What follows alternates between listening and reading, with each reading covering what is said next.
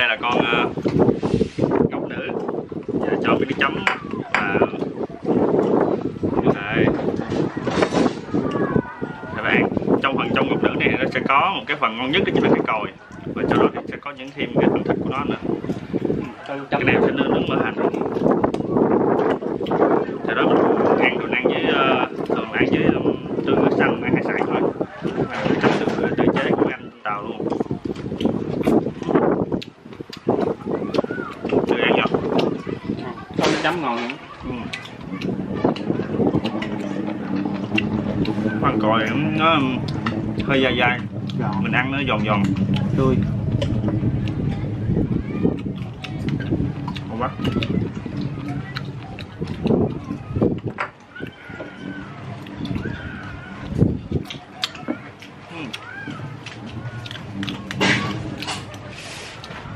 Thiếu thiếu gì đó nha. Thiếu lên nhỉ? Thấy thiếu bia đó. À, Ờ, hợp lý. đúng rồi thiếu một lon bia. Làm lon bia đi. Ở làm lon bia. Có bia không? Có mà đây có mà? Ờ, ờ.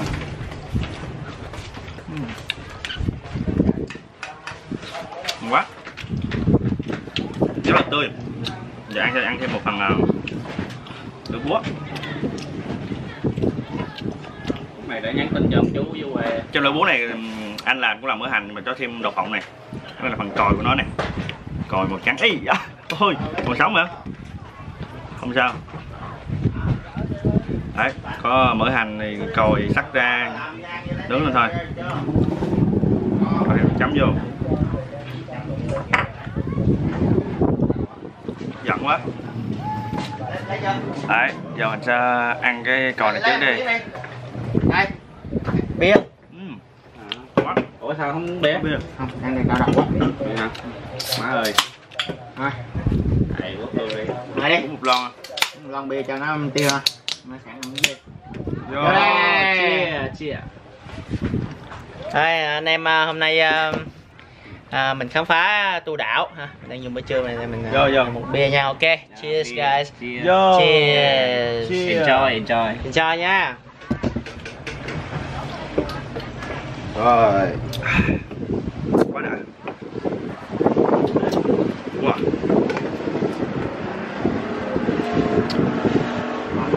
chấm sữa chấm sữa à sữa đặc nè ừ, giống như sữa đặc mà nó chấm làm giống như sữa đặc mà nó chua chua ngọt ngọt kỳ. ừ, cay nhiều thì mình đỡ thêm bớt luôn. Này hơi cay một chút.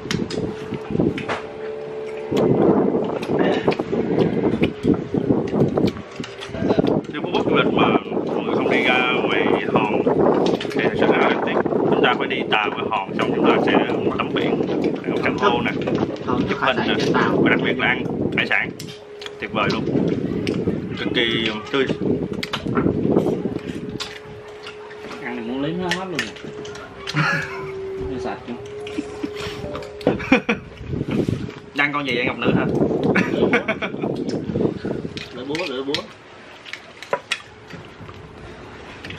Dạ đúng, ăn thêm thò tổ rồi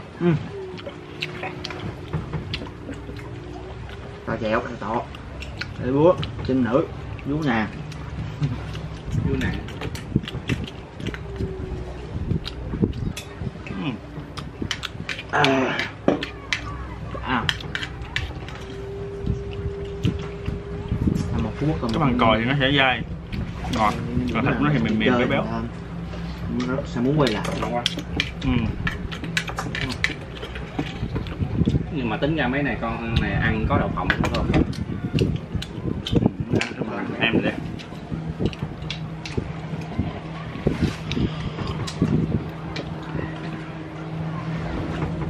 đây là Này không hấp gì ta không? Chả hay sao? vú nàng cái này chúng ta nhìn chúng ta tưởng tượng thì chúng ta sẽ hiểu được rằng là tại sao nó được tên là vú nàng Đấy, hoặc là người ta hay còn gọi là ốc cái nón nón lá ấy. cũng đúng cái này mình sẽ lấy nó ra nước ngọt ý cái nước nó tựa tựa như um, ốc ở nhà mình ăn nhỉ ốc mà um, Ốc ốc bu, ốc ốc bu á Bù. ừ. Ừ. chắc là do là cái nguyên liệu là cũng cũng cũng cũng luộc từ lên. Này. lắm ấy chảy nước chảy nước. Vậy vậy nữa à. xịt xịt xịt sữa đây mình chấm lên này. Wow. Đấy Ừm. ốc chú này ăn ngon hơn. Dài ừ. Còn ốc chú nào ăn tương tự như con bò ngư á ừ đúng rồi. Ừ. nó da nó giòn giòn nó cái giòn ngon. Chưa ăn bào ngư lần nào. Chỉ hay mình tưởng tượng này bào ngư đi. Giống bằng ngư hả? Nó giòn ừ. Đúng á thì nó được nhiều thôi nhưng mà cái vỏ ra nè. Chất lượng nào? Quá đã. Giờ em này là chính nữ đúng không chính nữ. Làm việc clip đó má. Cộng đồng. đây dễ bơm nhưng mà ăn miếng cà phê Ây. giữ lại cái vỏ để nó bán ngoài trong miếng đồ lưu niệm đó. Lên châu đốc nuôi cấm rồi bán. Thật có trinh nữ rất là nhiều cho chấm ở trong này Rồi xay nó một vòng ok này có kéo mình cắt ra nhỏ hơn để ăn nó sẽ dễ ăn. Ăn nhiều thì cũng ngon.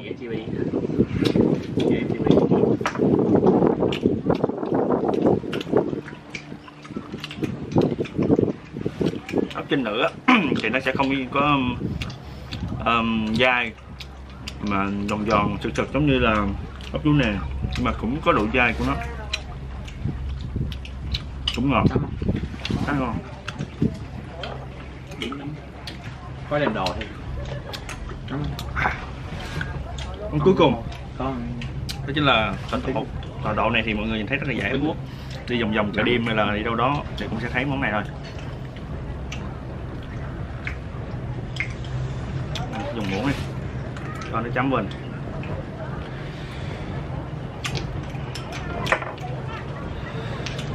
đấy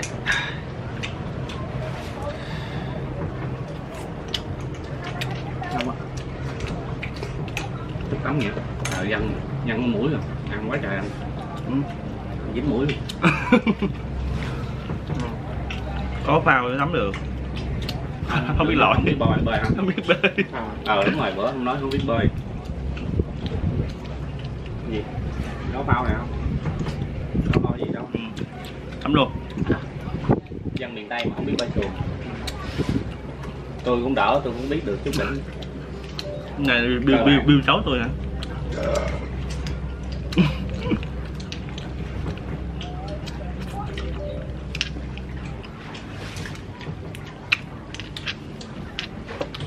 Kia. Yes. Vô. Rồi. Rồi. Có thằng phái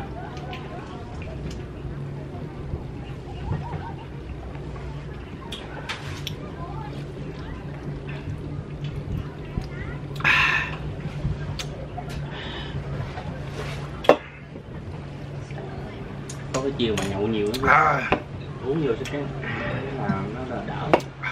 Quá thôi ra nó ra. Không có bị ứ ứ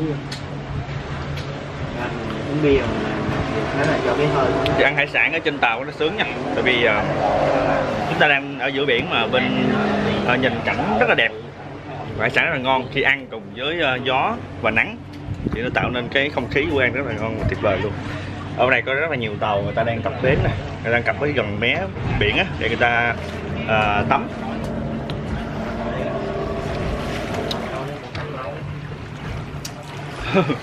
Ngò quá anh ơi.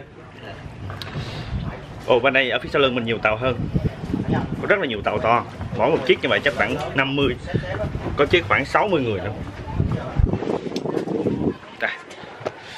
rất là nhiều tàu to khách du lịch thì à, sẽ bút theo đoàn hay đi, thể đi những chiếc tàu to như thế này.